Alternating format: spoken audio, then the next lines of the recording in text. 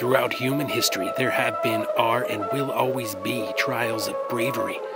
Do you have a heart full of pine tar and rusty nails, or is there a small kitten playing around on a lacy pillow inside your chest?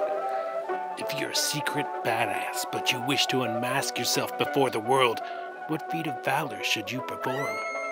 Well, how about identifying, clutching, and eating an ancient vegetable covered in glass needles full of acid? Uh, perhaps that counts. Welcome to a timeless world of food, medicine, pain, and healing. Welcome to the world of Urtica dioica, the stinging nettle.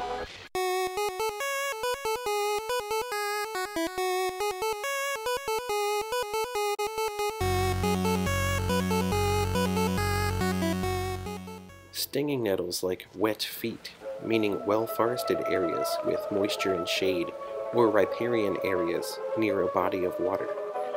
Unlike many other weedy plants, Urtica species thrive in rich, undisturbed soil.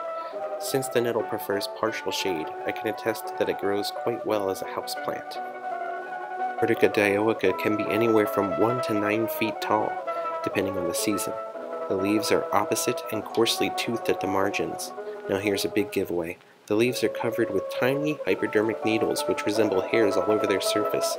These silica-laden trichomes contain a cocktail of histamine, acetylcholine, as well as tartaric, oxalic, and formic acid, which is irritatingly injected into the skin of anyone who touches it. The small green flower clusters can be found on the upper leaves later in the season into summer. While the stinging nettle is considered to be invasive, there is no need to kill the plant while harvesting from it. Simply snipping the tender tops and a few leaves here and there is all you'll really need to do.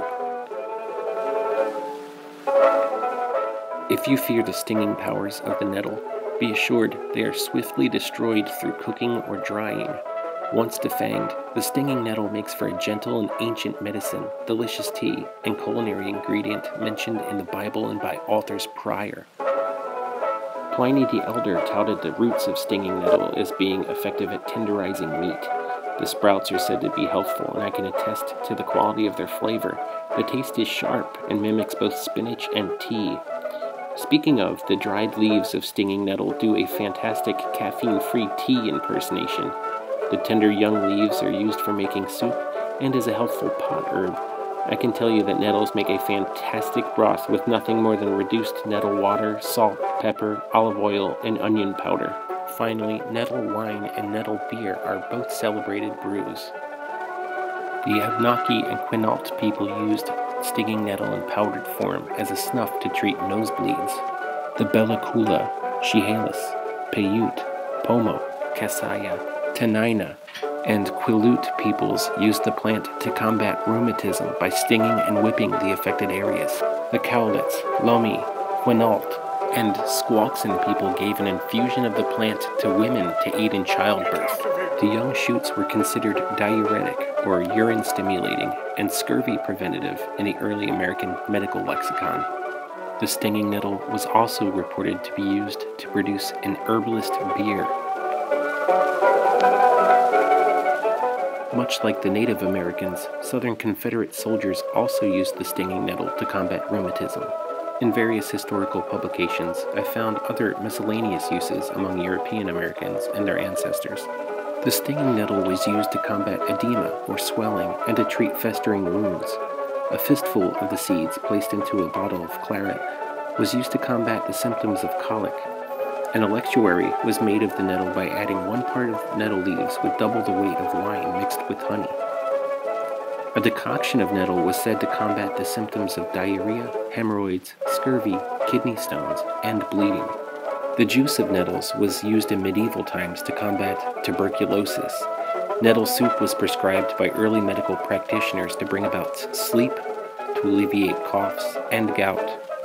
It is reported that Roman soldiers would flog themselves with stinging nettle to ward off the cold of winter and to warm the blood. In India, the whole plant was used to treat kidney stones, burns, anemia, rashes, internal bleeding, and diabetes. A list this long, spanning many cultures and thousands of years, begs the question Does this oft touted panacea of a plant carry medicinal properties that stand up to the rigors of science? An incredibly thorough analysis presented in a paper titled Pharmacological and Toxicological Evaluation of Urtica dioica uncovered outstanding blood glucose lowering action in stinging nettle extracts in mice. Further, the aforementioned study found antibacterial and anti inflammatory effects were both significantly present and synergistic in their action. The study concluded that the traditional use of the plant as medicine in a context of Indian folk medicine was justified. Good old Pliny the Elder mentioned that stinging nettle was used in religious services and was thought to ward away illnesses for a full year. And neither might have said whether he would still go on suffering the nettle to be drawn lightly over him, stinging him to madness, or whether he would grasp it in his naked hand boldly and dare the issue. E. Lynn Linton, 1822 to 1898. Tender handed stroke a nettle, and it stings you for your pains. Grasp it like a man of metal, and soft as silk remains. Aaron Hill, 1685 to 1750. In the clefts of the valleys must they dwell, in the holes of the earth and of the rocks. Among the bushes they bray, under the nettles they are gathered together. New American Standard Bible. I have slept in nettle sheets and dined off nettle tablecloth, and I have heard my mother say that she thought nettle cloth was more durable than any other linen. Thomas Campbell, 1777 to 1844.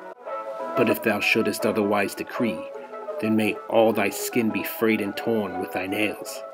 Yea, and in nettles mayest thou crouch. Theocritus, 3rd century BC. Such a cold and cough it gave me that I was obliged to fly, and in the shelter of your bosom cure myself with rest and nettles. Persius, 34 to 62 AD. Nettle is rich in vitamins A, C, D, as well as manganese, potassium, calcium, and iron. Urtica dioica is used in making a green dye for wool. Stinging nettle was fed to hunting hounds by the English. It was also widely used as a fiber source in Scandinavia. A decoction of nettles was said to be used like rennet for the utility of making cheeses, and even to gum up leaks in tubs or vats. To make the rennet decoction, you must take one ounce of the herb and boil it with one pint of salted water. Nettle mixed with alum was said to make a yellow dye for Easter eggs. Much like yarrow, it said that the Roman battalions would plant nettle in every area that they were stationed. There, the nettle plants may have remained to this day. This video version of the article appearing in pullupyourplants.com was made possible by my generous Patreon support. Without you guys, I couldn't do this. If you'd like to be a Patreon supporter, please follow the link in the description. Thank you.